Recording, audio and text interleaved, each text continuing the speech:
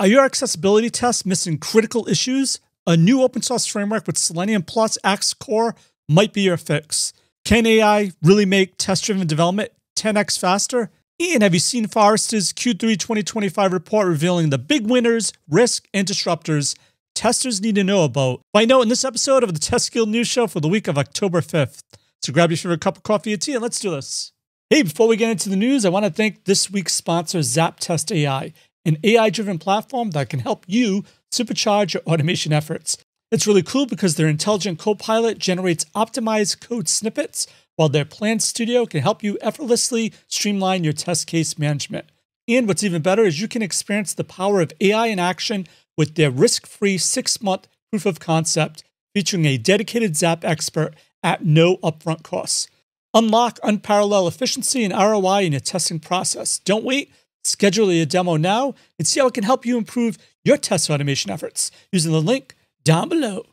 All right, first up is all about accessibility testing. And I found this on LinkedIn by Saran Kumar, a senior SDET at Greenway Health. He just released an open source accessibility testing framework on GitHub that integrates Selenium WebDriver with Deque's Axe Core library. And this project automatically scans websites for accessibility violations and generates multiple report formats for different audiences. So when executed, the framework launches Chrome, navigates to the target website, wait for page load, runs the Axe accessibility scan, and writes result to a JSON file. A post-processing utility then converts the JSON file into both CSV and HTML formats. The framework can also be configured to fail builds if violation thresholds are exceeded and can be integrated into CI/CD pipelines through Jenkins GitHub Actions or GitLab CI with build artifacts archived for review.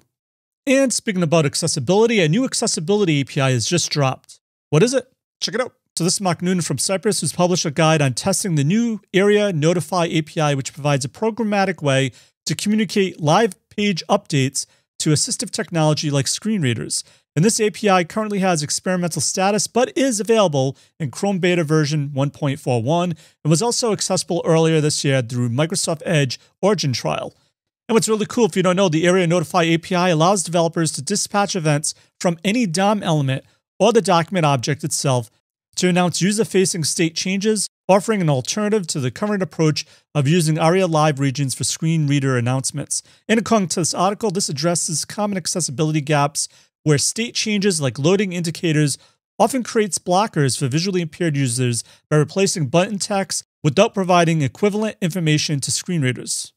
And this tutorial walks you through building an end-to-end test for a shopping cart button that uses the API to announce two states, an immediate adding item to cart message when clicking, followed by an adding item to cart confirmation after simulating a two-second server delay.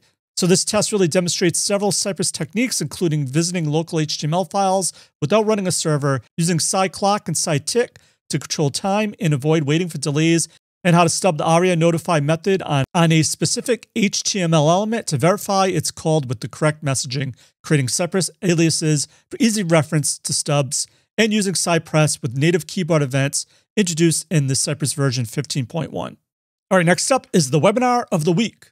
So we're hosting a webinar on mobile QA featuring Autify's no-code platform and its AI-powered capabilities. This session will be led by Ryo, co-founder and CEO of Autify, who has over 10 years of software engineering experience. And this webinar addresses mobile testing challenges that include device and OS fragmentation, flaky UIs, and high test maintenance overhead. And I know, speaking to a lot of testers, these issues cause teams to spend more time fixing tests rather than releasing software, and scaling coverage typically requires substantial effort. So Rail told me he's going to demonstrate Autify's mobile platform, specifically focusing on two factors AI prompt assertions for validation, and JavaScript steps for advanced testing scenarios. And the session aims to show how these tools handle dynamic UIs, reduces maintenance cycles, and supports faster delivery.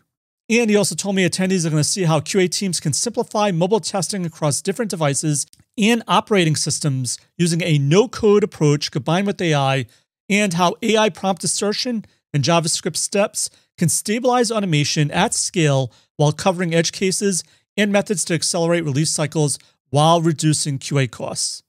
So highly recommend you register now using that special link down below. Hope to see you there.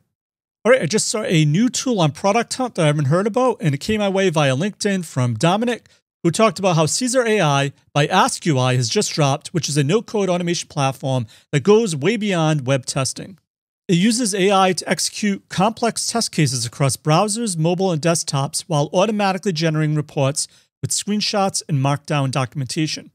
And so for testers, obviously that means faster, more accurate test execution, less manual drudgery, and automation that works across any interface, not just the web. So I highly recommend you check out Product Hunt. Think of this as an AI-powered UI agent that you can click, verify, document, and report all without any code. Does it work? Well, try it out for yourself and let me know in the comments down below.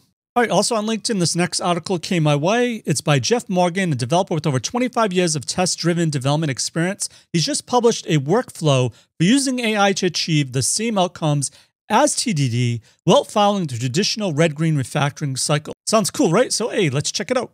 So, if you don't know, Jeff is well known in the space. He has taught TDD workshops at multiple conferences worldwide. He initially struggled to integrate AI into a TDD workflow and, and found that traditional approaches felt unnatural. And so, after months of experimentation with different tools and configurations, Jeff developed a process focused on outcomes rather than strict adherence to TDD practice. But the goal remains the same producing thoughtful testing and well factored code. And Jeff reports now completing in one hour what previously took a full day, has built applications with the sun in a half a day that would normally require one to two weeks without AI. And the workflow centers on three main components. First, developers configuring their IDE to make critical tasks easily accessible, including running tests, obtaining code coverage information, running static code analysis, and performing security analysis on both code and dependencies. Second, developers educate their large language models by creating an agent's MD file at the project root that contains quality and security guidelines. And third, the workflow involves asking the LLMs to write a plan that divides tasks into small steps and save it to a file for tracking. So this is definitely something I'm going to check out. I highly recommend you do too using that link down below. Next up is the Autonomous Testing Platforms Landscape Report. So Forrester has released their Q3 2025 Autonomous Testing Platform Landscape Report, which is authored by Diego and a few other authors, covering 31 vendors. The report defines autonomous testing platforms as solutions that combine traditional automation with AI and Gen AI agents to continuously perform increasingly autonomous testing tasks across functional and non-functional end-to-end tests. And according to Forrester, testing risks become the bottleneck of the software development lifecycle as organizations adopt AI tools to generate requirements, designs, and code at faster rates. The report identifies three primary business values for testers accelerating time to value through AI driven test automation, reducing strategic risk through risk based testing orchestration and intelligent test scoping, and democratizing testing through no code interfaces and natural language test authoring that lets non technical users contribute to quality efforts. And it also goes of how the market dynamics reveals a split picture. The main trend is AI driven autonomous testing, delivering rapid innovation and adaptive automation. And the primary challenge is that buyers struggle with understanding AI's actual value versus vendor claims face skill gaps as testers must evolve into strategic orchestrators and deal with fragmented tool chains and unclear ROI. And the top distributor identified as Agentic AI, which enables self updating, self healing, and continuous testing with human orchestration. And the report also covers four use cases and five extended use cases, including testing of AI and Gen AI systems themselves, and also includes research into 31 vendors. Looking for ways to help debug your tests? Well, this next announcement may help. It's all about Chrome DevTools MCP that's been released for AI agents. So Chrome has launched a public preview of the Chrome DevTools model context protocol server, which connects AI coding assistance directly to Chrome's debugging tools. And this report addresses what Teams describes as a fundamental problem. AI agents cannot see what their generated code actually does when running in a browser. But the Chrome DevTools MCP server implements this protocol.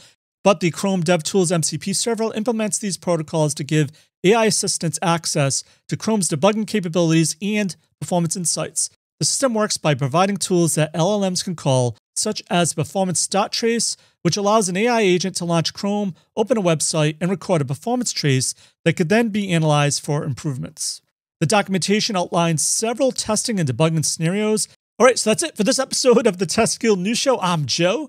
My mission is to help you succeed in creating end-to-end full stack pipeline automation awesomeness.